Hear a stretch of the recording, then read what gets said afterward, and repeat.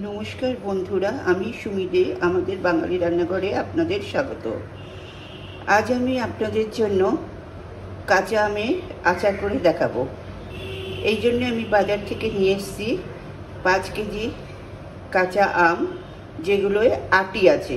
আটিওয়ালা আম দিয়ে আচার করলে সেই আমের কাঁচ আর, আচার টেস্ট অনেক বেশি হয়। তাহলে এ কটা আমি ধুয়ে রেখেছি। আরও কিছু আপনাদের সামনে ধোবো বলে রেখে দিয়েছি। এই দেখুন, বাকিগুলো আমি এরকম করে জলে দেব, যাতে কষটা বেরিয়ে যায়। এবার কল খুলে এইগুলোটা এরম করে নিয়ে এক একটা করে এরম করে এখানে রেখে দেব, জল ঝরাবার জন্য। জল যদি না ঝরে, তাহলে কিন্তু আম নষ্ট হয়ে যাবে। মানে আচার নষ্ট হয়ে যাবে। এইভাবে জল দিয়ে প্রতিটা আম ধুতে হবে যাতে কষটা বেরিয়ে যায়।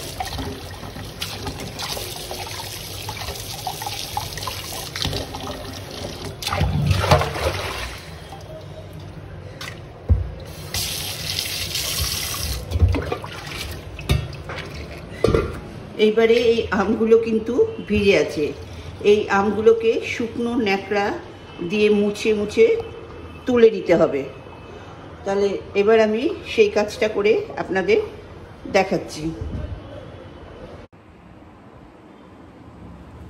হ্যাঁ এইভাবে ধোয়া আমটাকে শুকনো ন্যাকড়া দিয়ে এরম করে মুছে নিয়েছি। মুছে নিয়ে এখানে রেখেছি। তারপরে আমগুলোকে এইভাবে কেটেছি, চার টুকরো করে দেখুন, শীতটা, বিচিটা ফেলে দিয়েছি। বিচিওয়ালা আম নেবেন, তাহলে আচার সবসময় টেস্টি হবে। হ্যাঁ তাহলে আমি আমি আমগুলো ধুয়ে মুছে নিয়েছি। তারপর আমগুলোকে কেটে চার দিন ধরে রোদে শুকিয়েছি, নুন, হলুদ মাখিয়ে। তাহলে চার দিন বাদে এই দাঁড়িয়েছে। তাহলে এবার আমি একটা ভাজা মশলা আগে করে নেব। এর জন্য আমি নিয়েছি টু টিস্পুন ধনে টু টিস্পুন মৌরি টু টিস্পুন জিরে আর দুটো শুকনো লঙ্কা।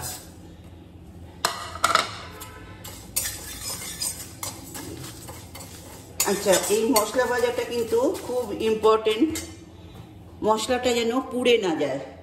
পুড়ে গেলে কিন্তু এর টেস্টটা একদমই চলে যাবে।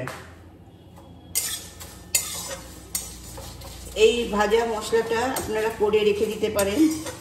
এটা আপনারা আমের চাটনিতেও দিতে পারেন। আচ্ছা আমি আজকে করছি গুড়ের আরেক রকম আচার। আগে একটা করে দেখিয়েছি, এবার আমের আর গুড় দিয়ে আরেকটা করে দেখাবো। দুটো দু রকমের টেস্ট জাস্ট মশলার ফারাক।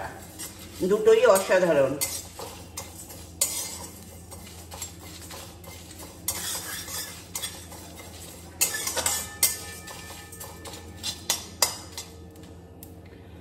আপনারা কি করে বুঝবেন? মশলাটা ভাজা হয়ে গেছে, দেখবেন। গন্ধ বেরোবে, গন্ধ অলরেডি বেরোতে শুরু করেছে, আর লঙ্কার কালারটা চেঞ্জ হয়ে যাবে।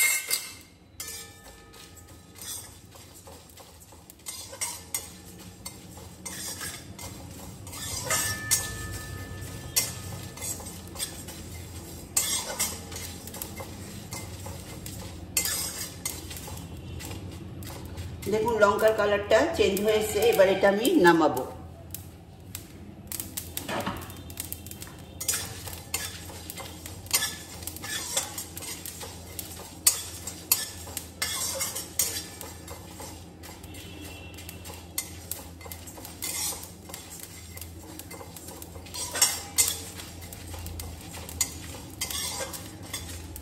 ভাজাটা একটু দেখে নিন, কীরকম হবে।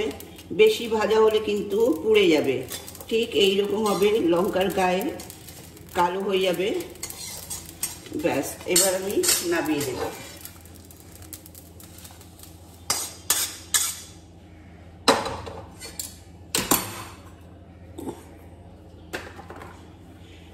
আমের আচারে একটু বেশি তেল লাগে, কারণ এটা একটু প্রিজারভেটিভের কাজ করে।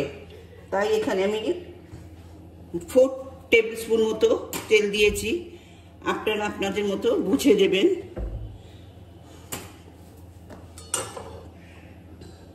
যেহেতু কড়াইটা গরম ছিল, তেলটা গরম হয়ে গেছে। এবার এতে আমি দেব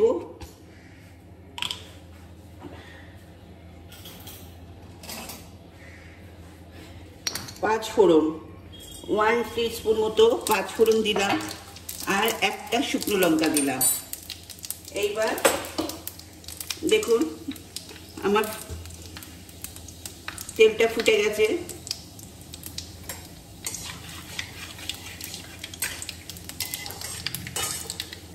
এবার আমি আমগুলো দিয়ে দেব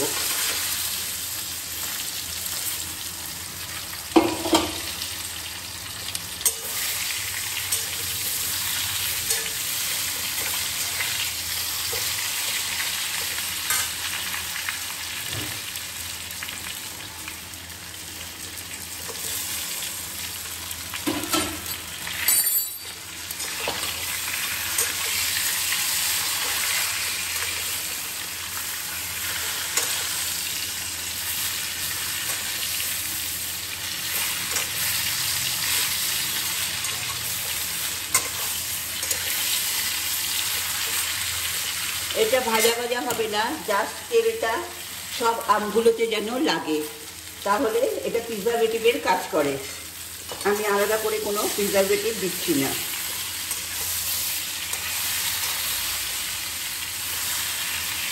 দেখুন সব কটা আমি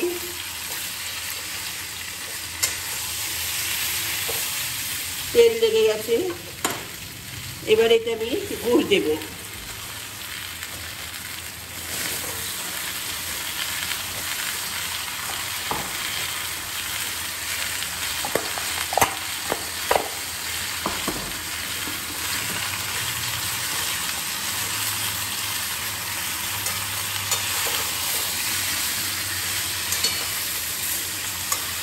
কোনো রকম জল দেব না। তাহলে এই গুড়টা দিয়ে আমি ঢাকা দিয়ে দেব। গুড়টা গলুক, পাঁচ মিনিট বাদে আমি ফিরে আসছি। আমি পাঁচ মিনিট বাদে ফিরে এলাম।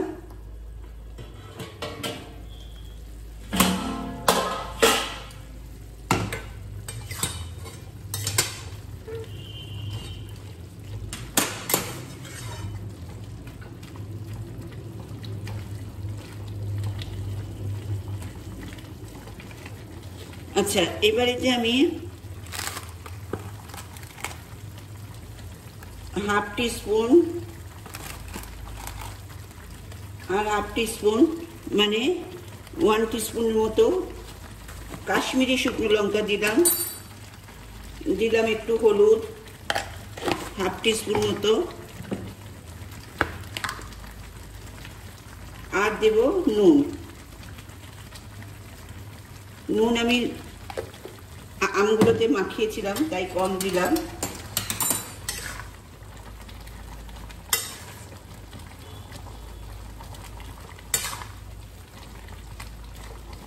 আমার আচার রেডি দেখুন নরম হয়ে গেছে। একদম।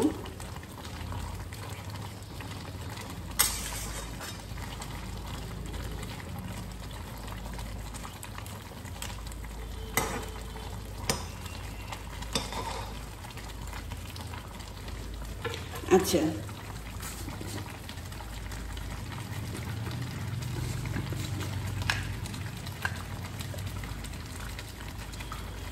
এবার আমি যে ভাজা মশলাটা তৈরি করেছিলাম, সেটা পেস্ট করেছি, কিন্তু পেস্টটা যেন কচা হয়, পুরো যেন পেস্ট না হয়। পুরো পেস্ট হলে আচার ভালো লাগবে না। তাহলে এবার এটা আমি ছড়িয়ে দেবো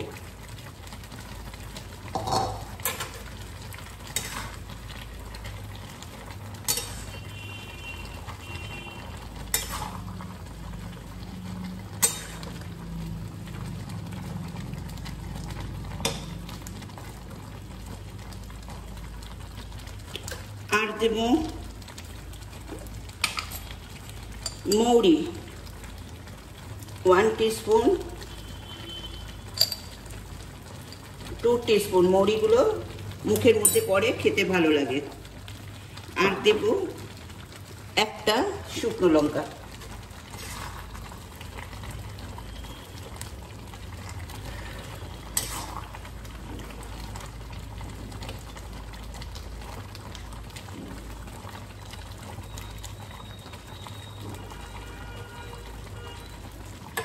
তাহলে আমার রেসিপি যদি আপনাদের ভালো লাগে প্লিজ আমাদের বাঙালি রান্নাঘর চ্যানেলকে সাবস্ক্রাইব করবেন আর পাশে থাকা বেল বটমে ক্লিক করবেন, তাহলে আমার সমস্ত রেসিপি আপনার ফোনের নোটিফিকেশনে পৌঁছে যাবে।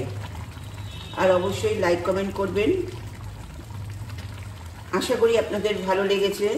আমি দু রকমের গুড়ের আচার করে দেখালাম। দুটোই অসাধারণ টেস্ট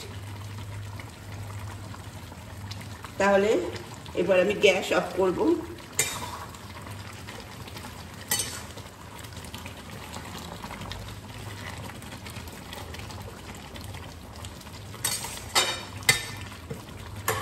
গ্যাস অফ করে যখন ঠান্ডা হবে, তারপরে এই বয়ামে তুলে কাছের বয়ামে রাখবেন। নাহলে কিন্তু আচার নষ্ট হয়ে যাওয়ার সম্ভাবনা বেশি। যেহেতু এটা আমি প্রিজারভেটিভ দিলাম না, আপনারা সাত আট দিন তো এমনিই খেতে পারবেন রোদে দিয়ে দিয়ে। তারপরে ফ্রিজে রেখে এক বছর পর্যন্ত আপনি খেতে পারবেন। তাহলে আজ আসি। নমস্কার। গ্যাসটা অফ করলাম। ঠান্ডা হলে আপনাদের সামনে আমি পরিবেশন করে দেখাবো।